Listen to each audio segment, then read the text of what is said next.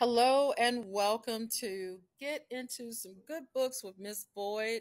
I'm Miss Boyd, your friendly librarian here at Jefferson Middle School Academy. And I have some great news. Starting next week, Monday, September the 16th, the entire school community will be able to check out print books for the very first time from the Jefferson Middle School Academy Library Media Center. That's right, print books will be able to be checked out for the very first time. A lot of kids are excited, and I hope you are excited too. So, I just wanted to go over a couple of guidelines so you are aware of uh, what the students are doing in terms of checking out books and some of the rules that go along with that. The first is uh, students, when they check out books and they borrow books from the library, they may check out up to four books at one time. Yes, they may. And they may keep these books for two weeks.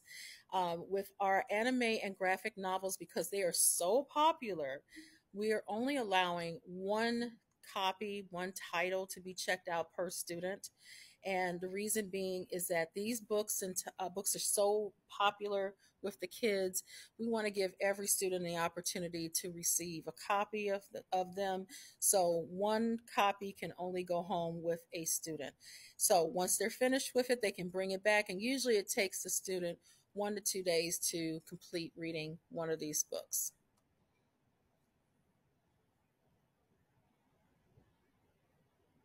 So returning books.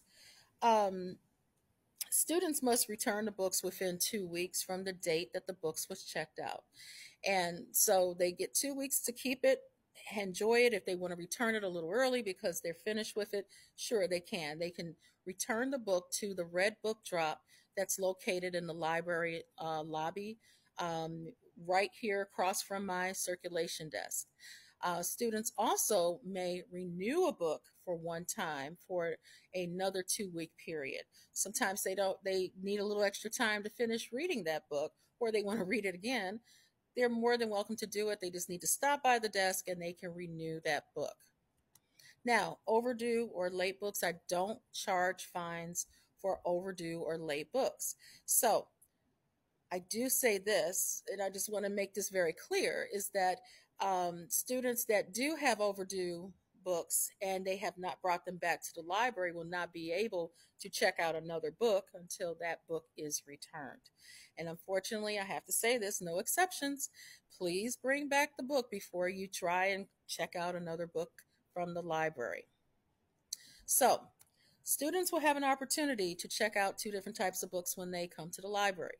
They can check out either a fiction book, which is an imaginary or fabricated narrative story, or a nonfiction book, which is a uh, book that's of factual information. It's their choice when they come into the library.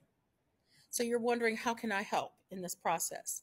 Well, one, there's two ways that you can help. One is encourage your, your student to bring the book home from school and to read at night for 20 minutes. That means put down the phone, put down the game controllers, turn off the TV, just read for 20 minutes in the evening. And then once the stu- your student, your child, I should say, has completed reading the, the, um, the their uh, assigned book that they have checked out, ask the following questions based off of the type of book that they checked out so if they have checked out a fiction book, ask these questions. What was the most interesting thing that you've learned about from this book? Would you have ended the book differently? Did it end the way that you thought it would? Or here's another question. If you could change one thing about the book, what would it be? You can ask those three questions. Do a screenshot of this. Ask those questions. Next question if you have uh, your child has checked out a nonfiction book, you can ask these questions. What surprised you while reading the book? What did the author think you already knew? Or what challenged or changed or confirmed what you already knew about the topic of the book? These are things that you can ask your child to, you know, just generate conversation and discussion about what they have read. So just a little bit of an overview. Again, reach out to me anytime. Also, check out the newsletter, which is tinyurl forward slash the J- JMSA uh, L library newsletter. and you can always check out what's going on in the Library Media Center. I hope you enjoyed this first edition of what's going on in the library program. And uh, I'll have many more of these to come up in the, the near future. So reach out if you need any assistance or any support. Take care for now. Bye.